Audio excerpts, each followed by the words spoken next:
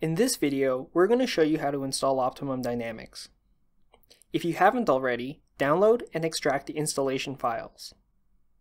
Navigate to the installation folder and go to the install directory.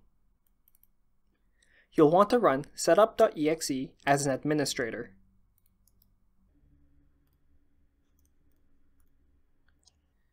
You'll first be asked to install two components, the SlimDX runtime and the Microsoft Office Access Database.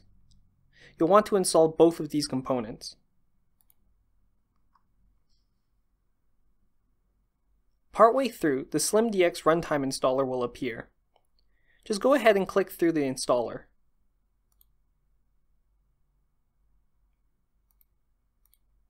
When both components are done installing, the Optimum Dynamics Setup Wizard will appear.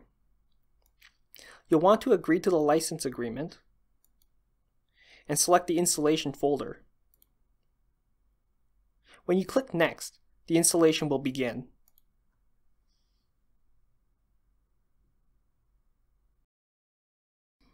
When the installation is complete, click on Close. The installer will create shortcut icons in the Start menu and on the desktop.